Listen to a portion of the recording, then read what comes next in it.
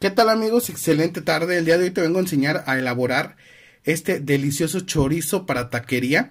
Y lo tenemos en pasta, no lo tenemos embutido. Ahorita más adelante te explico qué fácil es embutirlo. Lo difícil de repente es conseguir la tripita. Pero eso pues en alguna tienda, en alguna carnicería la puedes conseguir. Pero en esta ocasión te traigo cómo elaborar el chorizo para que tú lo hagas desde tu casa como en cualquier taquería. Recuerden que nosotros tuvimos taquería por casi eh, yo trabajé como este nueve años, diez años de, taquero. Y este y nosotros nos tocaba elaborar muchas cosas y sé hacer eh, adobo, sé hacer otras cosas para las carnes que también próximamente te voy a traer. Y el día de hoy pues es este choricito, mira nada más, nada más le falta la tripita literalmente porque lo demás es idéntico.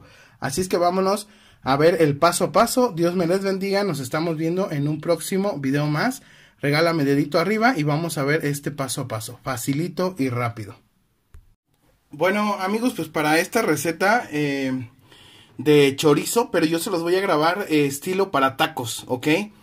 Eh, la idea es que no la vamos a embutir en la tripa, pero es muy fácil hacerlo.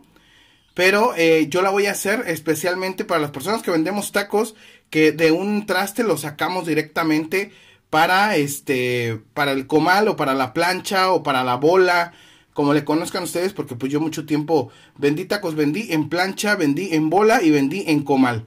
Así es que son tres cosas diferentes. Eh, bastantes años yo trabajé en esto ok yo aquí tengo cinco chiles guajillos que le puse 200 mililitros de agua y los llevé al microondas durante unos dos minutos y pues sí se evaporó un poquito de agua, pero ahí ya está suavecito nuestro, nuestro chilito. Así es que bueno, también lo pudieras poner a, cocer, es, es, lo mismo, ¿ok? Eh, vamos a estar utilizando algunos condimentos, como en este caso, ajo. Lo puedes utilizar fresco, mejor. Si no lo tienes, pues eh, lo vamos a usar así. Yo utilizaba este ajo en polvo cuando tenía mi taquería, cuando teníamos nuestro puesto de tacos. Voy a utilizar también un poco de pimienta y también vamos a estar utilizando vinagre.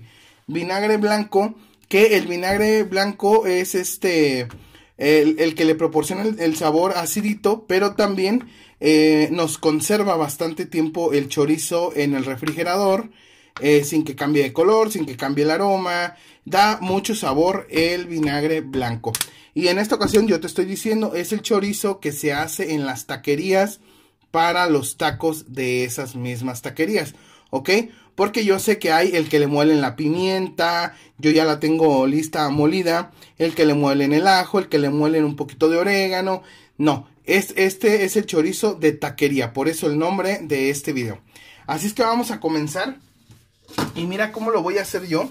Tengo un traste, que este traste pues ustedes lo conocen porque yo aquí hay veces que hago este mis pasteles y vamos a estar sacando un kilogramo de carne. Y vamos a aplastarlo un poquito. Es carne de puerco. También lo pueden hacer con carnes de, de res. Hay gente que no.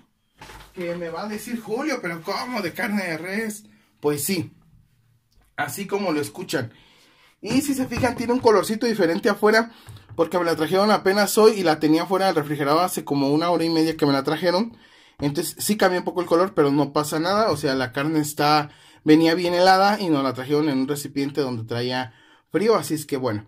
Eh, yo tengo un kilogramo de carne de puerco molida. Tú puedes comprar pulpa, eh, que es una parte de la pierna, para hacerlo más eh, natural para ti, para que no traiga tanta grasa. Esta casi no trae grasa, pero recuerda que el chorizo necesita llevar grasa. Así es que esta es pulpa, esta no tiene grasa, es para las personas que pues dicen, no, y es que yo no quiero con tanta grasa y bueno, cosas así, ¿no? Entonces, ahorita lo que yo voy a hacer es que voy a agregarle eh, nuestro ajo. Vamos a agregar también nuestra pimienta, que ojo, mucho cuidado, yo soy alérgico a la pimienta. Voy a tratar de, de hacerlo con mucho cuidado. Esto lo hago totalmente por ustedes, pero eh, en cuanto yo abro la pimienta, a mí me, se me empieza a faltar el aire un poquito. Este, voy a ocupar eh, una cucharada de sal, miren, se la estoy agregando aquí. También pudieras ocupar sal con ajo si tú quieres, pues le pones unas dos cucharadas, ya no le pondrías sal ni ajo solo. Vamos a utilizar una cucharada de eh, ajo en polvo. Si tú quieres y no tienes el ajo en polvo, muele tres dientes de ajo grande con los eh, jitomates. Perdón, hay una disculpa, con los guajillos. Perdonen, perdonen. Estoy acá con otra receta. Em, a ver, entonces ya tenemos aquí la sal y el ajo. Y también le voy a poner media cucharada de pimienta. Bueno, un poquito menos de media, ¿eh? Poquito menos, miren. Ahí está. Voy a cerrarla para que no esté dando aroma. Y voy a revolver con una espátula, ya que esto se hace con las manos, pero yo no puedo meter la mano aquí. Ok, ahí está medio, medio revuelto, medio integrado. Ok, entonces voy a reservar un poquito, unos 15 minutos, para que vaya agarrando su sabor, ¿verdad? Miren, ya huele a chorizo y todavía no tiene nada. Y después les voy a grabar una carne especial para tacos, ¿ok? Después, después. Mira, aquí tenemos ya el guajillo. Perdonen, tengo que estar pausando para poder respirar un poco. Em, tenemos por aquí mi licuadora. Voy a agregar todo, todo mi, mi guajillo. Voy a agregarle dos cucharadas no, vamos a poner tres de vinagre. Una, dos y tres de vinagre. Y voy a llevar a licuar esto en lo que esto está reposando unos 15 minutos. Así es que ya vuelvo y regresamos. Bueno, pues por aquí lo tenemos. Y otra cosa que quiero decirte, yo no le quité las semillas al chile si tú quieres hacerlo, adelante. ¿Ok? Vamos a, a colocarlo. Esta es una pasta. Lo que tenemos aquí. Lo vamos a sacar bien, bien de la licuadora. Por eso también me estoy ayudando de mi espátula. Y es una pura pastita.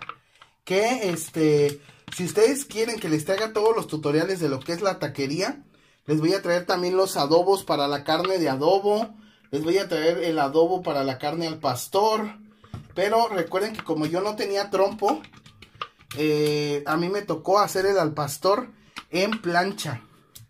Ok, todo eso yo se los puedo venir a, enseñar. Ok, voy a guardar, mira, aquí tiene un poquito. A lo mejor pudiera yo colocar un chorrito de agua nada más. ¿verdad? Y darle una así, mira. Rapidita. Para que se salga todo. ¿Ok? Entonces, ahorita vamos a empezar a revolver nuestra carne. Esto se hace con las manos eh, mucho mejor, ¿ok? Pero también lo puedo yo poner en mi batidora y le puedo poner el gancho y me lo va a revolver perfectamente pero yo te lo quiero hacer completamente a mano. ¿Ok? Para que tú puedas ver cómo se puede hacer sin ninguna máquina. Te digo, mis tíos tienen este eh, de, chorizo, este maquiladora, no, ¿cómo se llaman? Este, como obradores de chorizo. Y son este, em, ellos hacen, hacen su propia receta. Esta es otra receta. Y si te fijas cómo queda espesa, no queda aguada. Esta pues ya nada más agarras la tripita y le haces un hoyito y le pones algo. Porque pues yo no tengo el, el embudo, la, la este, el molino, que es el que te embute, el embutidor. Pero tú agarras un embudo que tú tengas en casa con un hoyo abierto, le metes la tripa y le metes los dedos y le vas retacando y vas acomodando tu chorizo así, tu longaniza, te va quedando aquí tu longaniza. Aquí yo te voy a dejar fotos al final de cómo tienen mis tíos acomodados su longaniza. ¿Ok? Pero esta longaniza que yo tengo ahorita aquí, o que ustedes están viendo, es longaniza para eh, una taquería. También sé hacer la longaniza de soya, pero la buena, la que puedes vender o puedes hacer pasar por carne. ¿Ok? Pero no tanto por carne, sino para las personas que no coman carne, pues que recuerden un sabor bonito de cuando comían este longaniza. Entonces déjame en los comentarios. Mira cómo estoy aplastando las bolitas. Bueno, pues este está lista nuestra longaniza. ¿Ok? Mira, vamos a olerla. Ya huele muy bonito, ya no me pica tanto la pimienta. ¿Ves? Entonces, como te digo, esto lo agarras y lo vas metiendo a la eh, tripita.